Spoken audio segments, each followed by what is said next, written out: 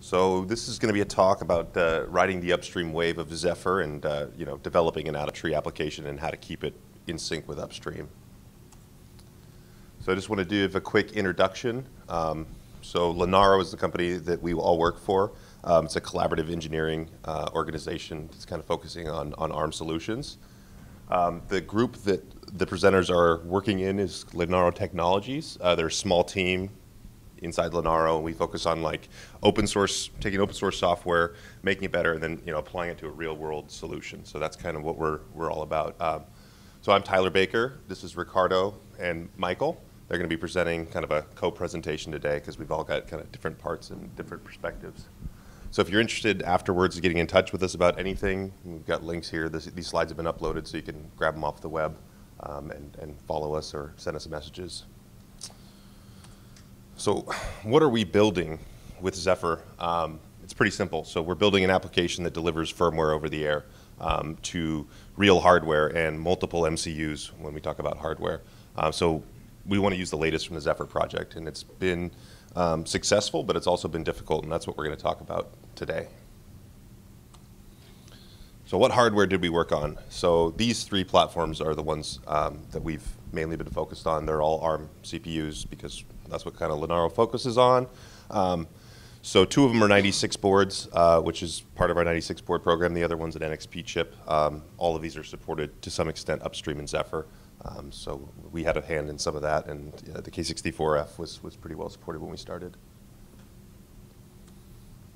So how does this firmware over the air app work? So really, what we're going to talk about is this part of the equation, but there's a lot more pieces than just the Zephyr part. So we're talking Zephyr, our Zephyr application talks 6LoWPAN to the gateway.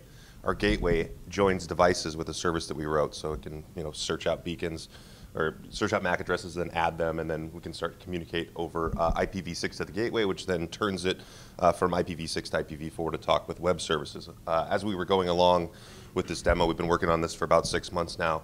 Um, we realize none of the cloud services natively support IPv, IPv6. So the IoT devices, endpoints can't talk directly to these services. So we have to kind of do a little bit of uh, six to four tunneling um, to get things to work. So that's kind of the architecture of, of what we built. Um, and we're really just going to focus on the far left piece today. But if you have any questions during this presentation, and we have a small enough group, just go ahead and stop me and throw your hand up, and we can talk about. Yeah. This solution we talk about is this open source or is this closed? So the question is, is this implementation that we're going to talk about open or closed source? It's all open at the at the moment. Yeah, and I I intend it to be that way um, for the foreseeable future. So let's get started. Okay, so let's talk about what our project goals are here.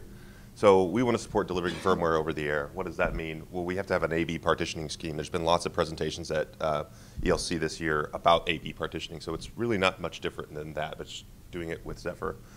So we basically download firmware to a scratch partition, and then we have a bootloader that will go back cryptographically validate the images, and if they succeed, we'll boot into them. If they don't, it rolls back. So we have all that working. Um, hardware, we wanted to support all the, the MCUs that we listed before. Um, technical debt. Zephyr's moving very quickly. We want to keep our patch set low and rebase on upstream master as much as we can. So that means upstreaming all our platform code and keeping you know application changes in sync with upstream, which you know sounds easy, easy to write on a slide, very difficult to do in practice. Um, and then quality. We want a testable design when we're building this because we want this end-to-end solution to continue to work, and it's you know something that we can use to help you know fix any issues that we may find in Zephyr, so that you know we have something that's open source that works and it's a real world use case that we can kind of test with. Um, so we want to also automate all the things. We want to do leverage as much automation as possible to you know keep the, the work, the manual labor of, of keeping everything in sync, uh, kind of you know make make that easier. So I'm going to have Ricardo come up and talk about you know things that were missing when we started. All right. Good morning, everyone. Uh, so just going to talk like quickly a little bit of the, the, challenges and the work that we did when we started this. Um, Tyler showed like the, the three boards that we wanted to support at the time, but um, we are kind of designing the boards as well, especially the 96 boards ones, uh, kind of in parallel when we're trying to decide what we're going to do on the software side and uh, the project itself. So uh, we, the first thing that you know, like that we had in our mind is is to try to get it supported by Zephyr, right? We were targeting Zephyr, so we had like to get back and see, you know, like the MCUs were supported or not, and get that in place, and see uh, kind of everything else that was missing in there, so that we can actually, you know, like try to focus a little bit more on the application side.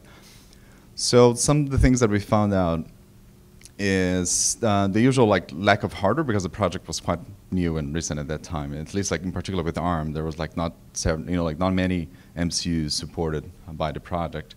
So we, we had like especially on the Carbon here, uh, we were using two different MCUs. One uh, just main, the main uh, application uh, uh, based uh, MCU like the STM32, and then the one uh, uh, M, uh, nRF51 uh, just simply providing the Bluetooth part of it because the, the, the main uh, MCU doesn't provide Bluetooth by default.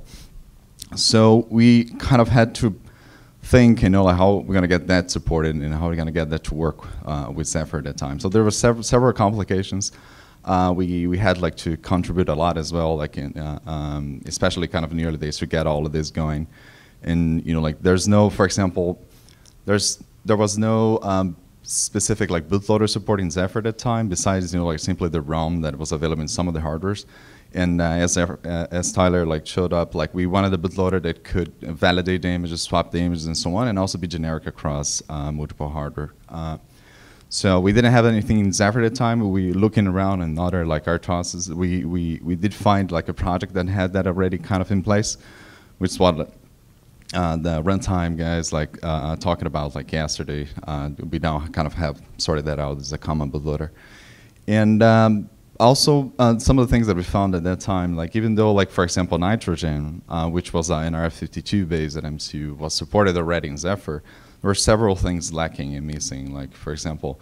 the flash driver wasn't in place. Even GPIO wasn't kind of well supported. So we had like to do several fixes across uh, the boards that we wanted to use, and, and besides just simply including uh, uh, hardware support in that case. So, and then after, I think like two or three months, we were working and, and trying to get to kind of was our first milestone, like in Connect last year, like in September, try to demonstrate, you know, like go through like those project goals and try to show up something, uh, you know, like showing the, the update over the air basically with those boards that we wanted. So we simply focused on uh, uh, on carbon and nitrogen at that time, simply because we were you know like also demonstrating the gateway and having the conversation over Bluetooth 6LoWPAN. And uh, at, what we were able to demo in there was uh, at that time was based on uh, Zephyr 1.5. Like I think 1.6 was released a few, uh, not that you know like far from that date that we had the demo. We were able to demonstrate. Um, the entire Bluetooth support over uh, uh, 6LoWPAN and, uh, and getting uh, the device, know, talking through the gateway to uh, uh, an open source cloud-based service. not service, but like the, the server based on Hawkbit, using one of the, the 96 boards, community edition boards as gateway. In that case, we're using Dragon board, we're using HiKey now. Um, and we, we at that time, because of the bootloader problem that we had, we simply decided there was like no time to get that properly done in, in Zephyr. So the demo that we had, we were simply using the bootloader from different RTOS that was actually booting Zephyr. So it was one of the things that we wanted to fix moving forward. But and uh, one of the other things that was nice as well is that by the time we were looking at uh, Carbon in particular, because of the the difference here that you have a different S uh, MCU providing Bluetooth support, the only firmware that was available at the time for this MCU was like a proprietary firmware, uh, which is called SoftDevice, which is also like containing a proprietary protocol. So we wanted to avoid, you know, like having to add a proprietary protocol in Zephyr and see, you know, like if you could have something that's more generic, like a pure uh, HCI protocol, for example. And one of the nice things uh, is that by the time we were looking at that problem, like, uh, I think the slide went off.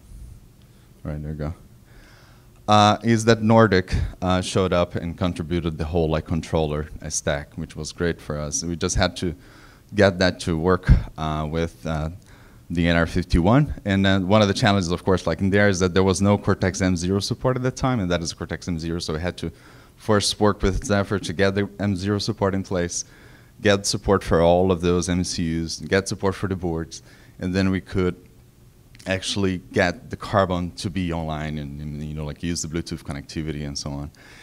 And um, by the time that we that we had that demo, we had still like several technical dabs and several things that we wanted to fix. The first thing is, of course, like we didn't want to use like two RTOS to demonstrate our project. We simply wanted to focus on on, on Zephyr. So the first thing is is sorting out the bootloader, right? How can we get like a bootloader Zephyr compatible, booting another Zephyr application?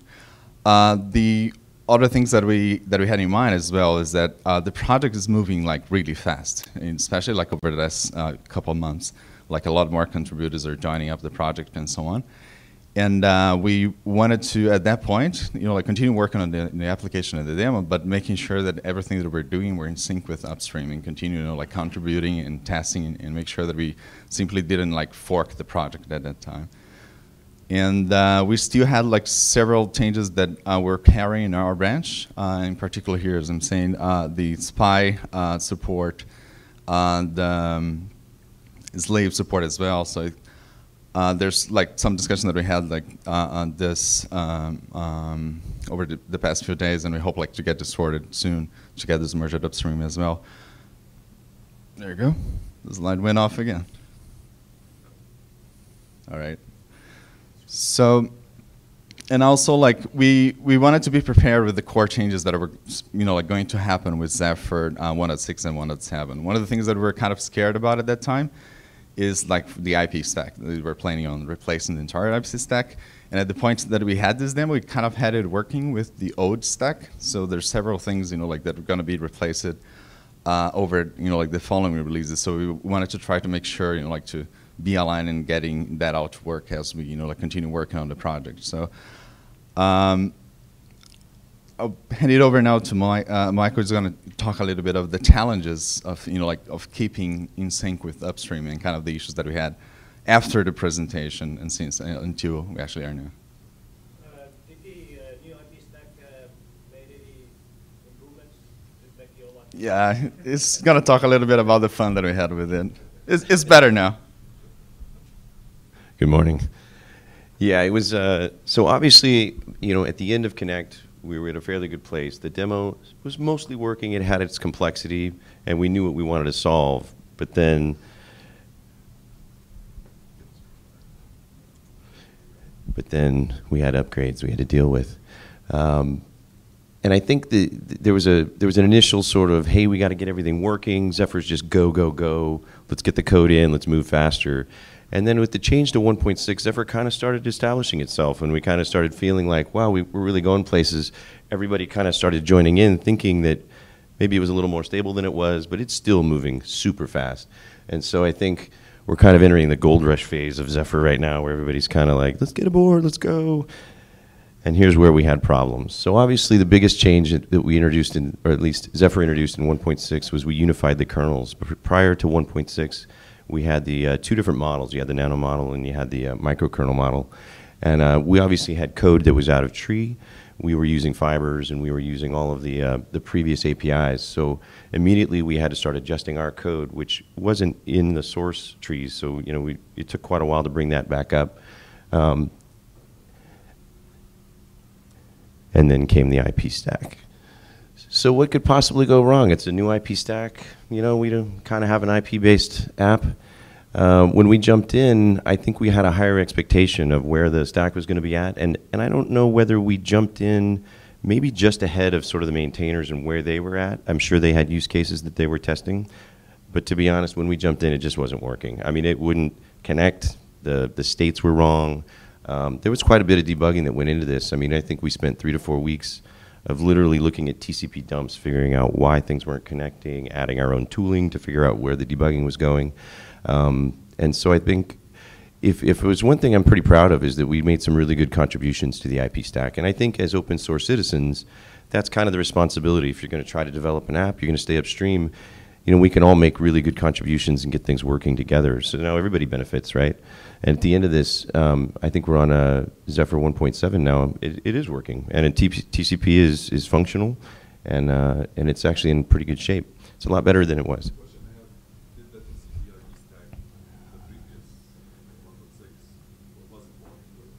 it- 1.6 was completely broken when we went when we jumped to it. Now 1.5 was, you mean 1. point- 1 1.5 was working okay. Uh, it definitely had issues, and I can see why we wanted to migrate away from that and get to a more stable stack where we had a little more control. This was definitely built from the ground up. I mean, the, the code was there. They had done a good job of kind of getting the, the base um, sort of structures in place. I just think that, like I said, we kind of jumped in a little early. They were testing UDP at the time, and I think we were kind of early into the TCP phase. Um, and- but it but worked out. And to be honest, the maintainers were great. As we were submitting patches, they were very responsive. Just to add to that, I mean, all of that had in, in the, the development phase. Yeah, yeah. This code was not yet. No, and that's a good point. It's fixed like in the, where it actually was supposed to be. We were literally daily or every other day rebasing on master to try to bring in changes and make sure that everything was going to work. It was it was kind of an incredible, you know, it was a big switch for us. I know, obviously, um, this was this was our biggest challenge really to get, and it was timing. Some of it was timing. You know, we happened to have a purely TCP based app that needed some sort of core functionality. It just wasn't ready yet. But but I think it worked out really well. And I'm going to talk about problems, but I do want to focus on, you know, this is sort of our, our commitment that when you when you pick up an RTOS or you pick up something that does have problems that you- and you fix them, you need to get them upstream. We need to get things fixed so that everybody benefits. And um, and that's so I don't want to be totally negative about the problems. I think it all worked out towards the towards the end. Um, some of the other issues is obviously, you know, the documentation is changing. Things are things are changing so fast in the system. Sometimes you don't necessarily. It's not clear, like if you're going to implement like a flash driver, if the erase needs the right protection set or things like that. And these things cause little delays along the along the way.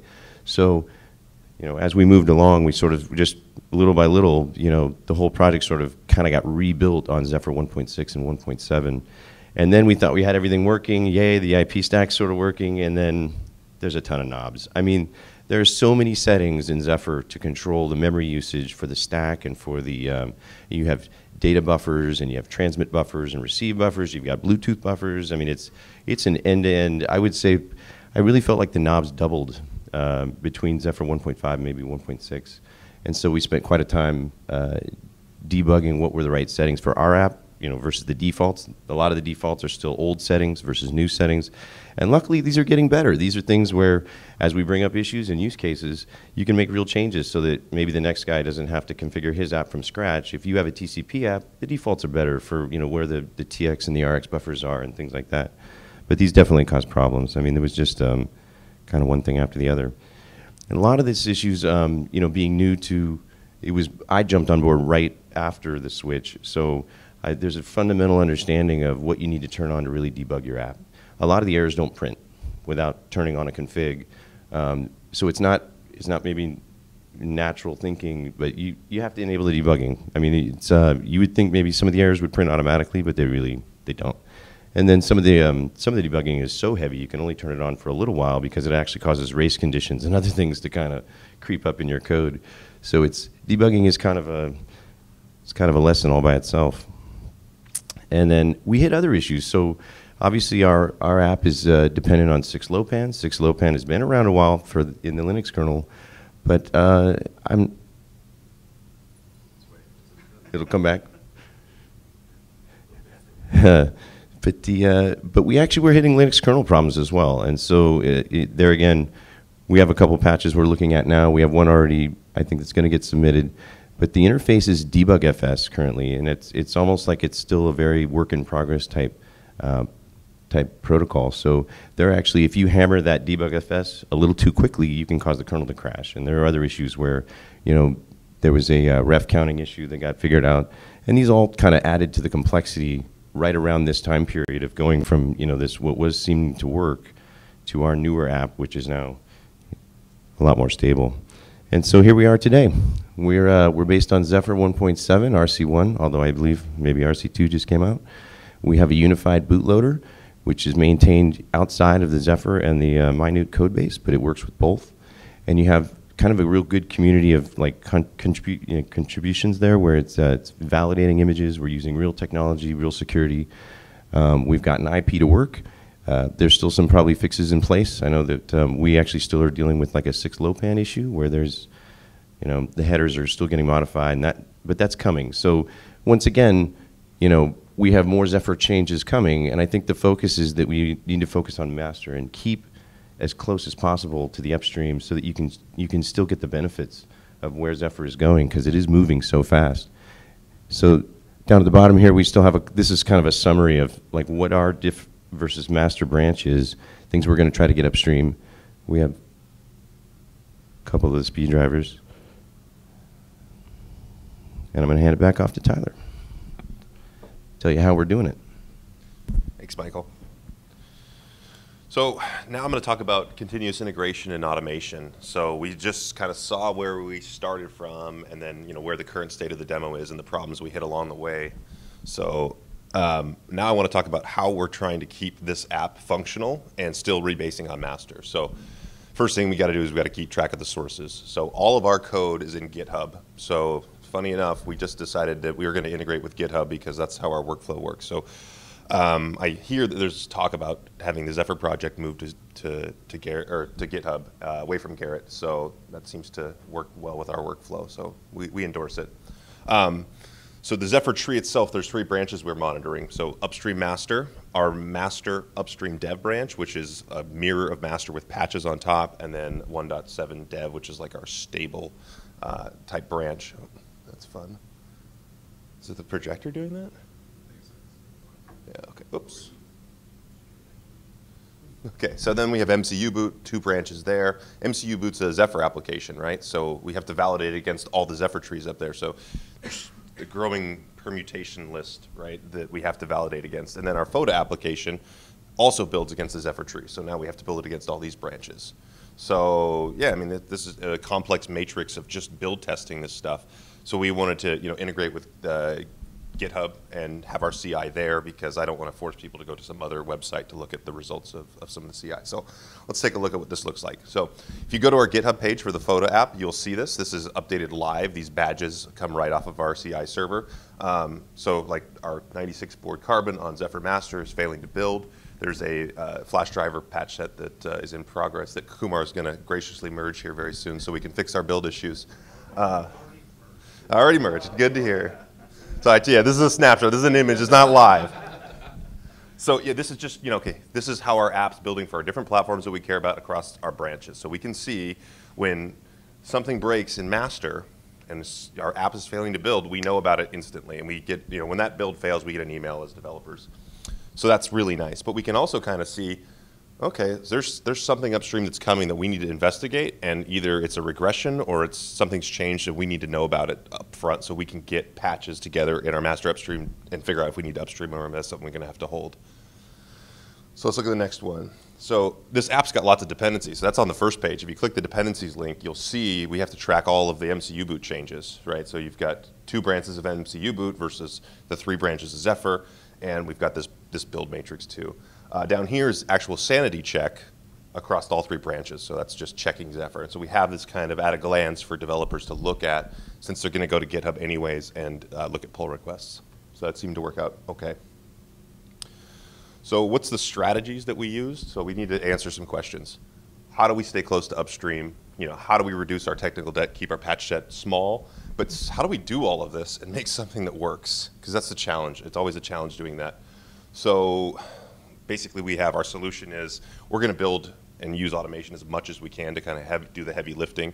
So we build all the tests, we run the unit tests Zephyr applications on supported hardware. We run functional tests on our application, so we actually like like flash it onto devices, check that it comes up, and then test the end-to-end -end story, which I'll show you in a second.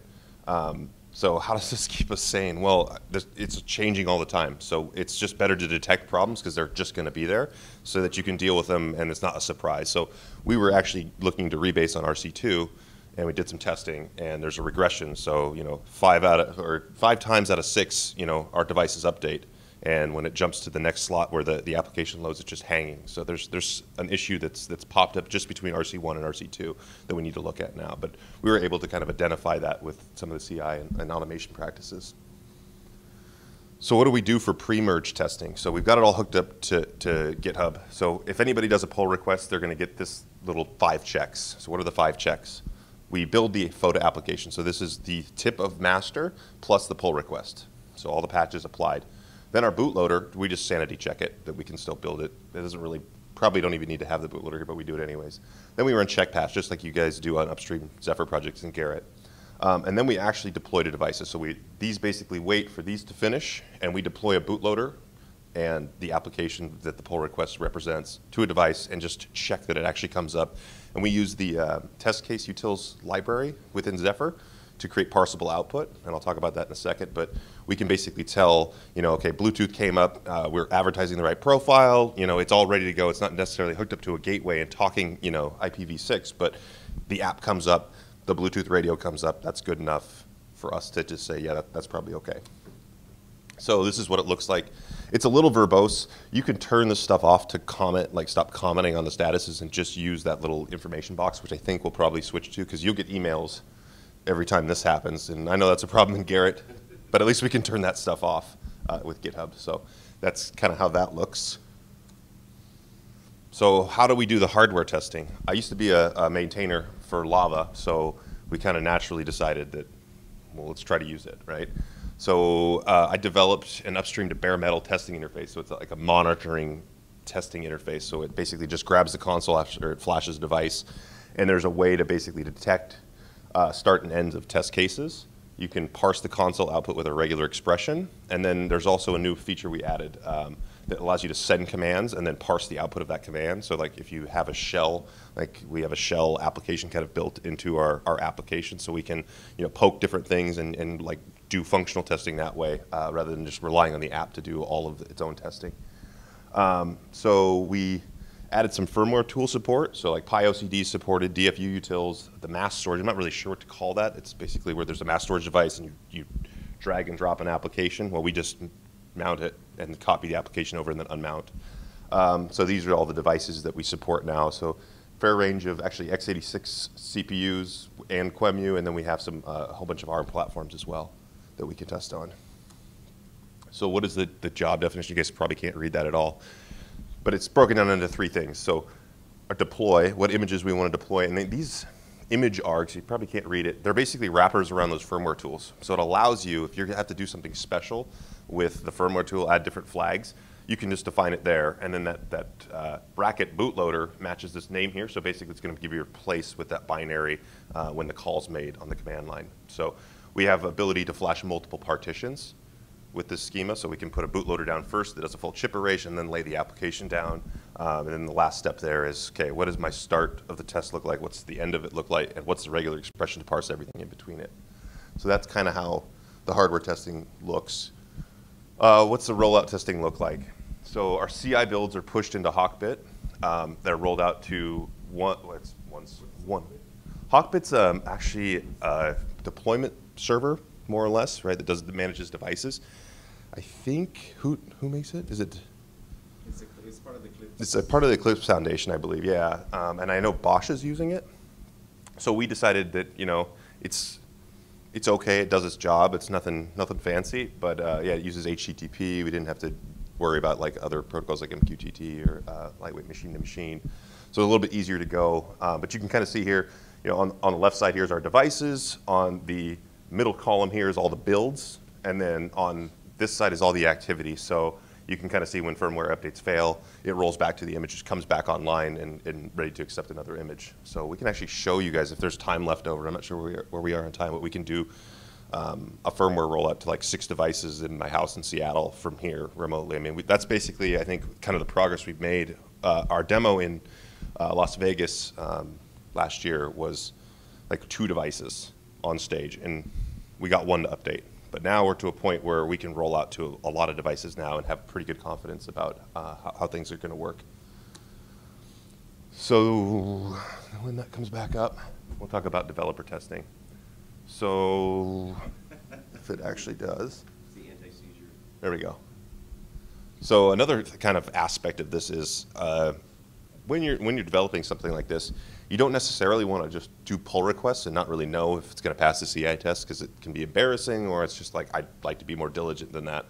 So we have a way that you basically say, here's my Git URL to my Zephyr tree, here's the branch I want you to check out, and then um, that'll run sanity check. So like before our, our, our, merges, when we go from RC1 to RC2, we push it into this thing and just see how the sanity check turns out. And if there's issues, we figure out, okay, well, do we need to patch that, so we always have a good uh, Zephyr branch that builds.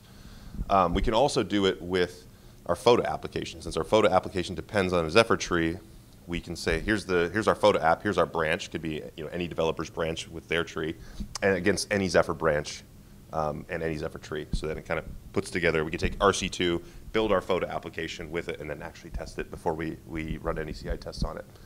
So what are our future plans? We want to have developers be able to trigger hardware tests so they can, you know, just kind of do that out of band, don't have to deal with the CI system, but there's an easy, maybe command line way of, of triggering that. Um, automated rollouts for common pool devices uh, distributed around the world. That's kind of my, my idea is that we get to a place where this is working good. We can really test, you know, the Canary device as well.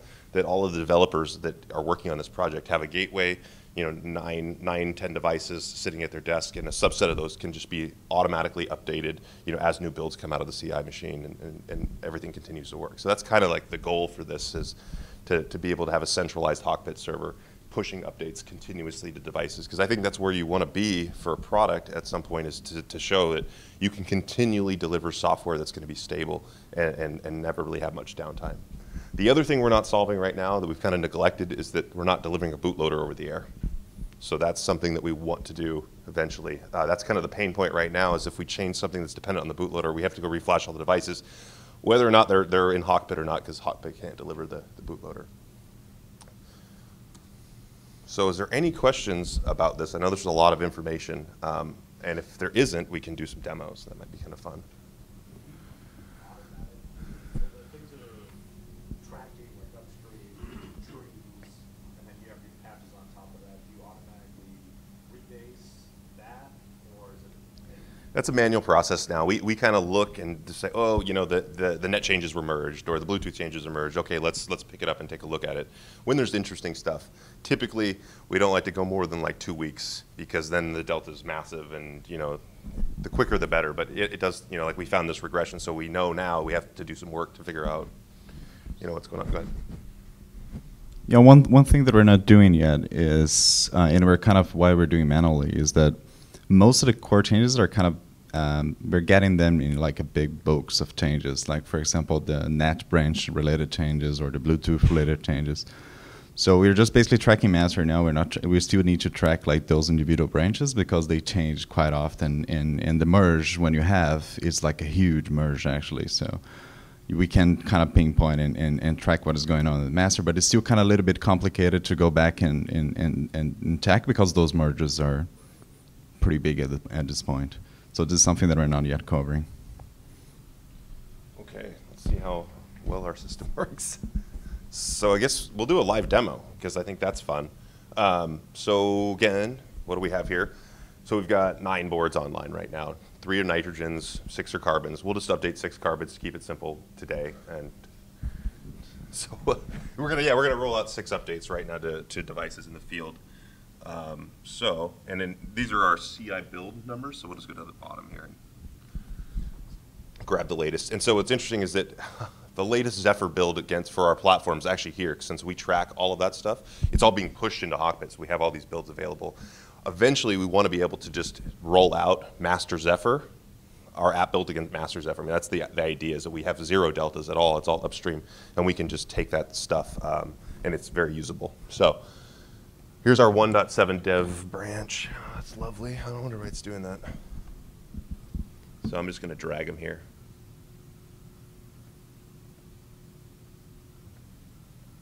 there's a rollout way. There's an API. You don't ever have to do this manually, but just for the sake of making it look cool. Okay, so let's just check and see what it's actually going to assign. Okay, so here's six different carbons, same build. We're going to roll them out.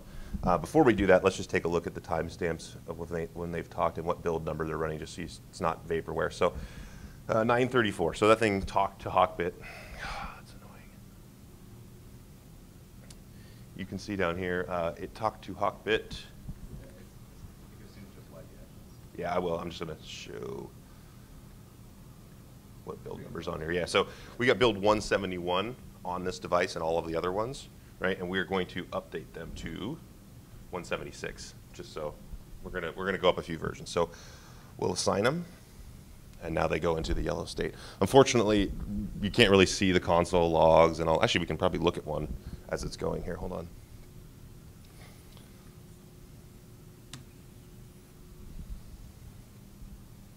I think that's a. We shall see. Let's see. Oh, there it goes. Okay, so it's this is the console output on one of the devices that we just asked to go and update. So it's looks like it's going to start downloading and flashing now. So all six are doing this. They're just cranking away, getting their update from the, the CI server.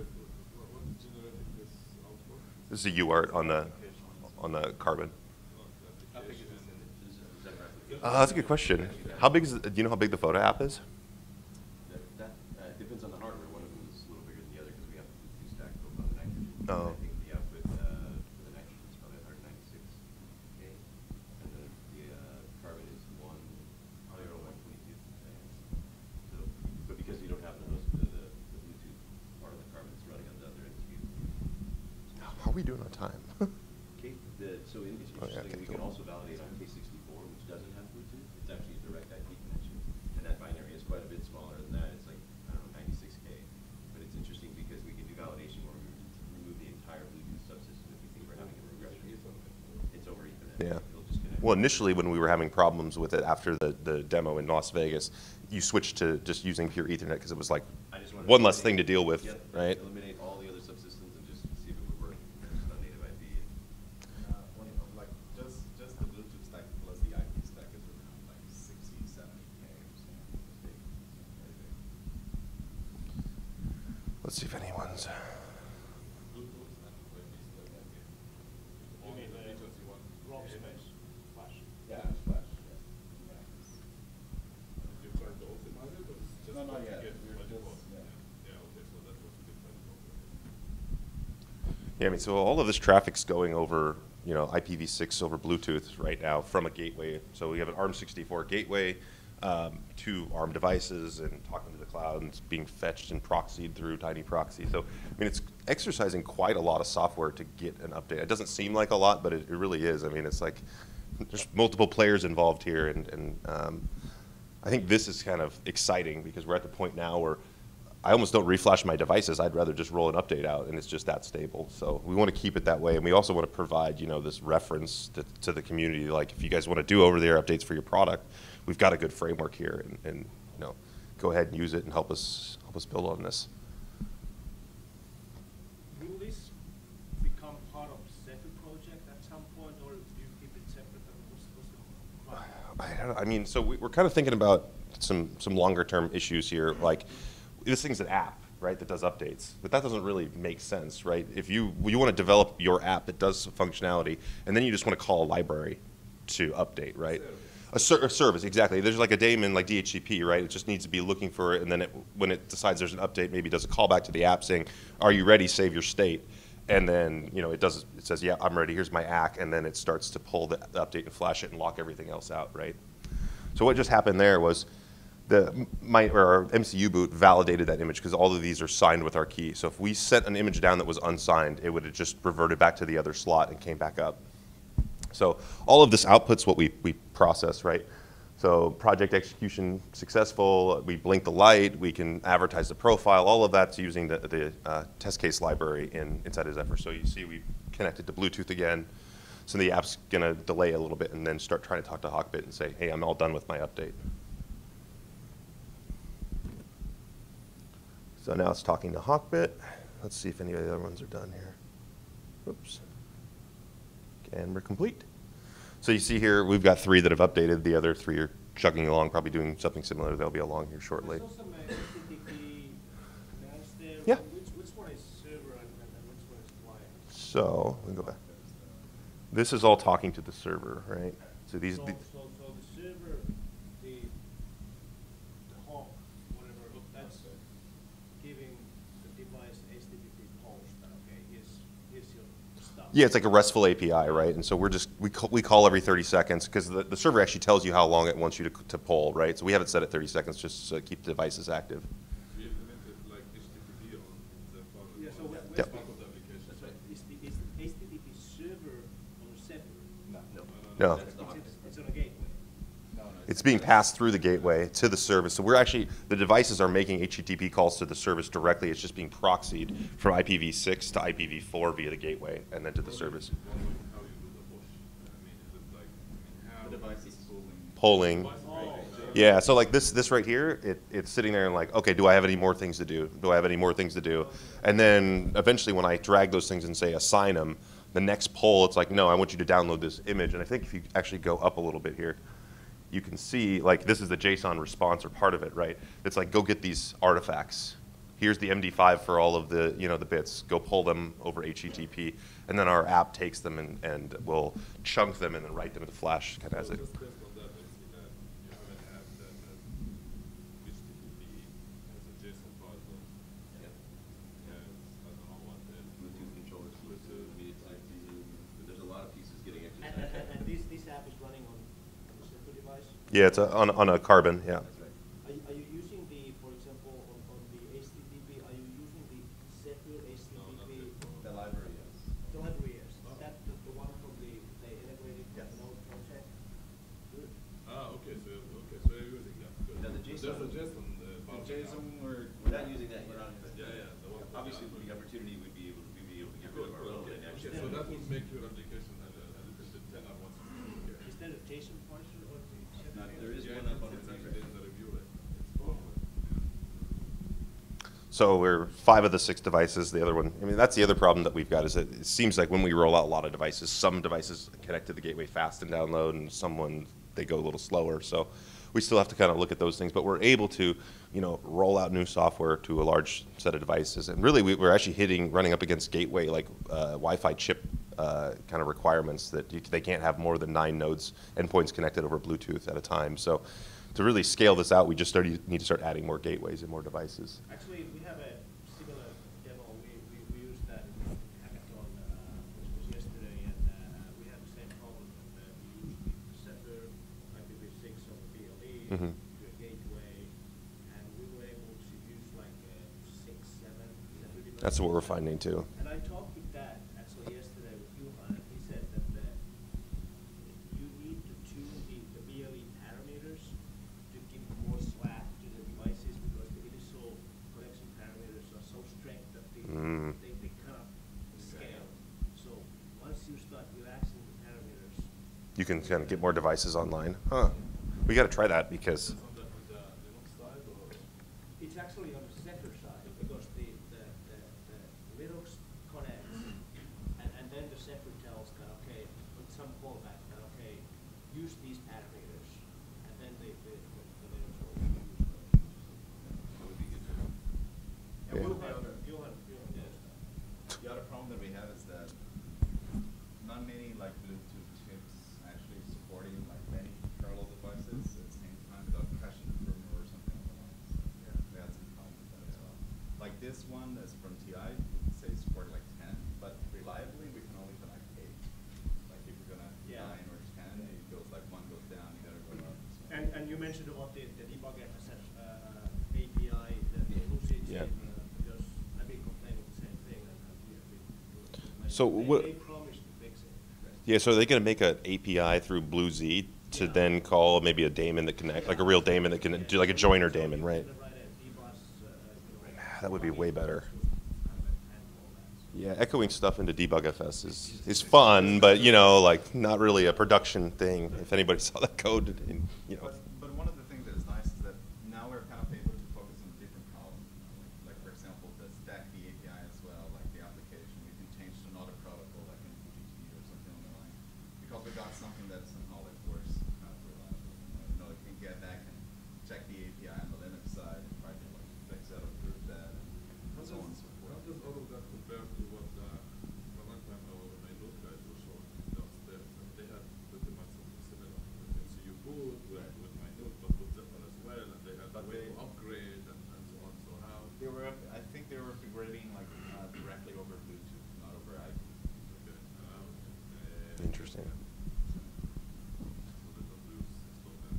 Yeah. And just to see now, the devices that have finished already are reporting the new version 176. So that's the software that's running.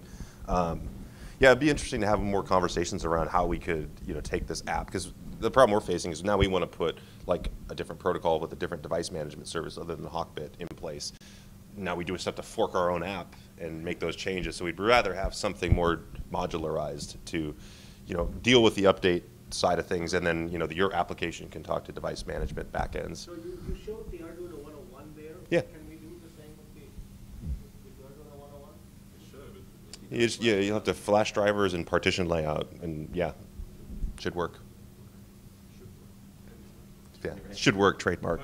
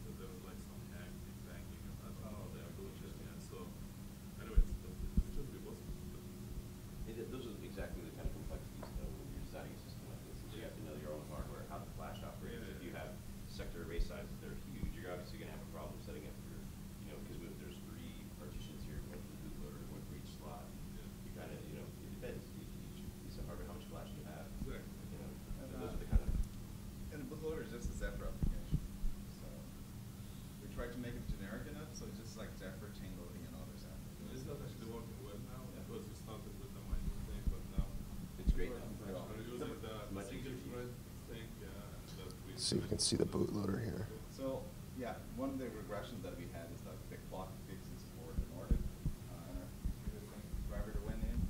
Because we're chain loading, now it kind of messes up like the oh, clock. Oh, the, the, most recent one? Yeah, it's, you, exactly. So that's something that we need to check. So how big is the, the set root bootloader, the first? Right around 32K. No, it's, it's, it's, it's, but yeah. I can look here.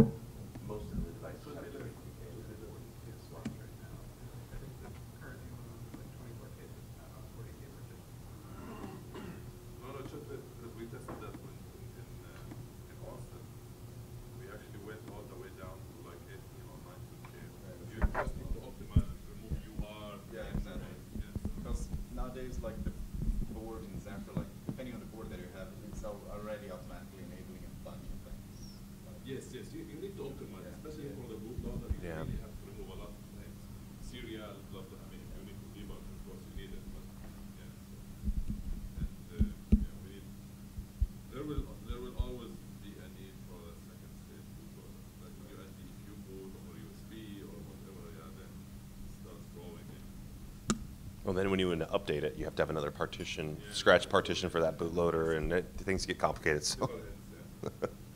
All right, any other questions? I think we can kind of wrap this up. Thanks for getting up early, guys. I appreciate it.